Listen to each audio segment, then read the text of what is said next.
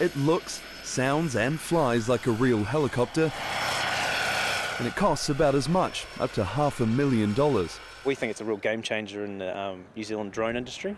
Engineered in Switzerland, this drone can fly up to 2,000 metres high for as long as two hours per flight. It can also fly out of sight of its operator as far as 100 kilometres away, though that would need a law change.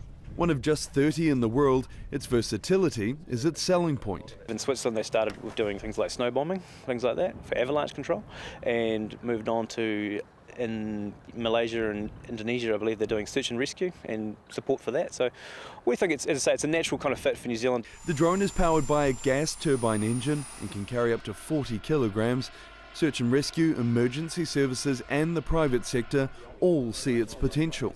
It could possibly drop some sort of equipment for someone who is in trouble or a life raft or something similar to help them out until a, a vessel or a, or a larger helicopter could come and actually rescue them. We're looking at how we could potentially use it in emergency management after an event like the Alpine Fault.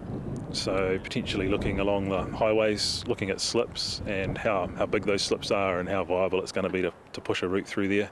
Air traffic controllers are also keeping up with the fast changes in drone technology. The big advantage of a machine like this is it has a transponder, so we could see it on our radar displays, and they would also have the ability to talk on radio to air traffic control. So that's quite different to most of the drones that we're dealing with at the moment.